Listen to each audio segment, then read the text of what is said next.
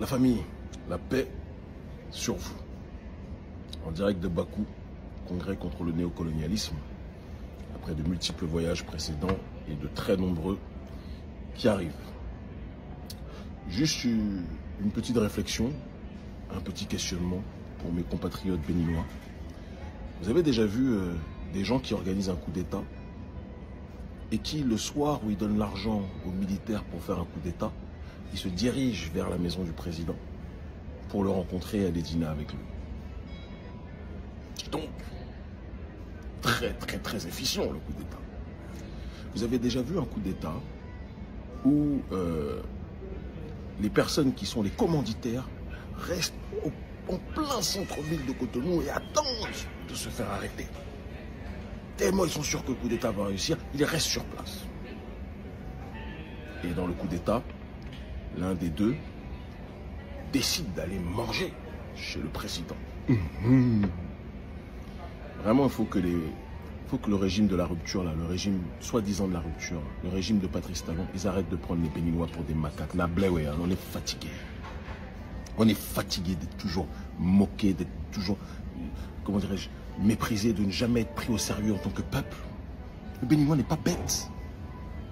On sait très bien que c'est des petits meurtres entre amis. Qu'on soit très clair, hein. moi Olivier Bocco, je ne vais pas pleurer pour lui. C'est la France-Afrique comme Talon. D'accord? Donc je ne vais pas pleurer pour lui. Qu'on soit très clair sur la situation.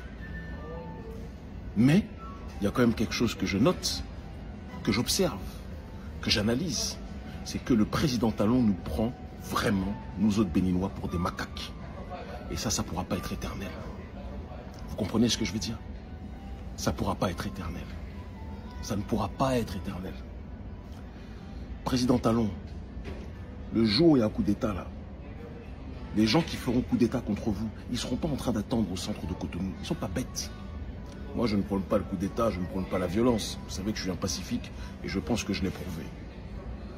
Mais ceux qui vont préparer coup d'État là, ils ne vont pas attendre sur place comme ça, attendre que vous veniez les chercher. Ils ne vont pas venir à votre invitation manger chez vous le soir même de l'arrestation. Arrêtez de prendre les gens pour des macaques avec votre porte-parole édenté, là. Guignolesque, comment ils appellent? Léandre Wilfried Bedji, je sais pas trop quoi, là. Qui lui aussi, là, quand le régime Talon va s'arrêter, lui aussi va être jugé comme eux tous, comme vous tous. Le peuple va vous juger. Parce que vous écrasez le peuple. Vous humiliez le peuple. Vous asphyxiez socialement le peuple. Vous vous gavez sur le dos du peuple. Vous mangez sur le dos du peuple.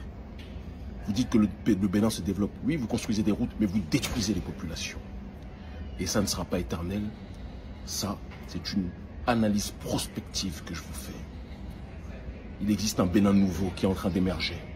Un Bénin nouveau avec un peuple nouveau qui en a marre de la soumission, qui en a marre de la corruption, qui en a marre d'être complètement contrôlé par l'oligarchie d'Occident et les dirigeants français, qui en a marre de tout vendre à l'étranger, qui en a marre de voir à la tête de nos institutions, de nombreuses institutions, des blancs systématiquement parce qu'on n'est pas capable de faire confiance à notre peuple, parce que, comme le dit le président Talon, soi-disant selon lui, le Bénin est un désert de compétences. Ça ne pourra pas être éternel. Ça, je vous le dis. Ça ne pourra pas être éternel. Et on est en train de travailler politiquement et pacifiquement pour ça. Mais je vous le dis, président Talon, votre chute est imminente. La fin de votre hégémonie est pour bientôt. Peut-être en 2026, de sorte que même votre pion Wadani ou autre guignol ne passera pas. Après, j'ai des échos comme quoi il y a des gens qui voudraient même que ça s'arrête avant. Beaucoup au Bénin. Moi, je ne fais qu'entendre. Je ne promeux rien. Si ce n'est l'autodétermination de notre population. Comprenne qui pourra.